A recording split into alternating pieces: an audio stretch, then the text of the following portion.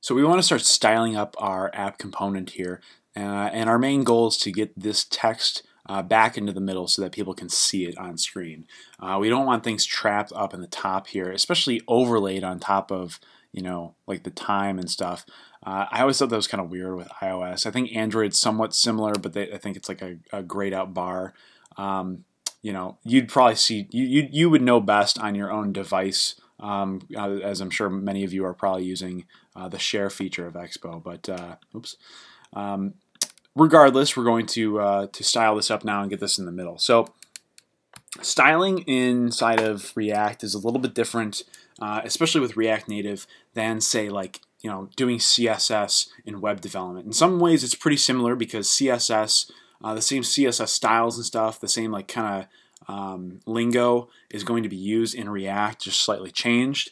Um, but it is a little bit different because you're not, you know, you're normally with like CSS or something, you would say like class equals, and then say like, you know, my class inside like this. We're not going to be doing that. You'll see exactly what we're going to do in a second here. Um, so what you need to do is you need to uh, go up to the view here, and we're just going to add in a style prop and I'm going to put these curly braces in here. And what I'm going to do is I'm going to, uh, well, you know, I'll show you inline first. So this is an inline style. So uh, you have curly braces, and then you want another set of curly braces inside of it, just like this. And we're going to type in a few commands, basically, which are going to, um, you know, help style up and, and, tell this text where it should be on screen.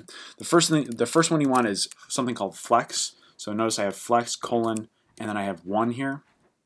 Uh, if I go ahead and save this and run it, uh, nothing changes yet. But that's because we need a couple other things combined with that for it to really work. The next one is something called align items.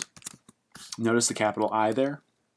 And then inside of quotes, uh, type center. Make sure you get that comma right after the 1 there.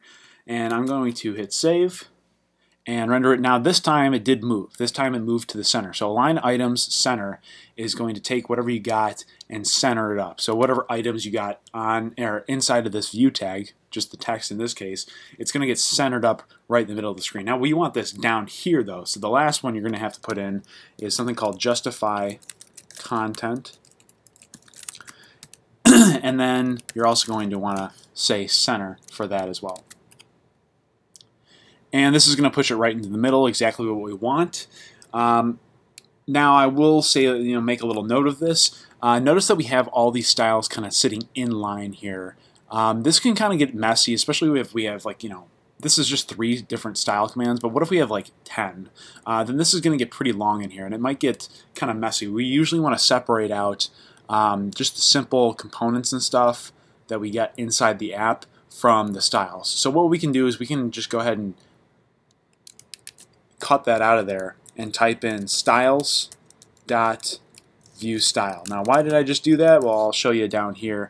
Uh, we're going to make a styles object. So we're going to say const styles is equal to an object. Uh, just the curly braces there. That's all you need. And we're going to say that we have a, uh, a key value, and the key is going to be view style, exactly as we have it up here, colon, and then they open up the curly braces. And actually, you know what?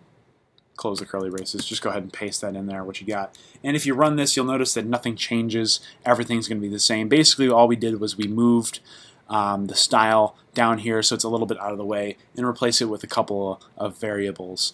Um, just styles and then, you know, the, the uh, key value inside of that object, view style. So that's kind of this is the you know the start of how you style things inside of uh, React Native.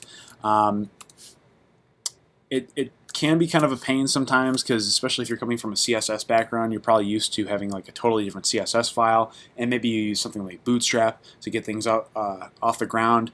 And this can be like a pain if you're coming from that because you're you don't want to have to declare every single style in the world. But don't worry, uh, stick with it. I'll show you um, some more techniques in the next lesson.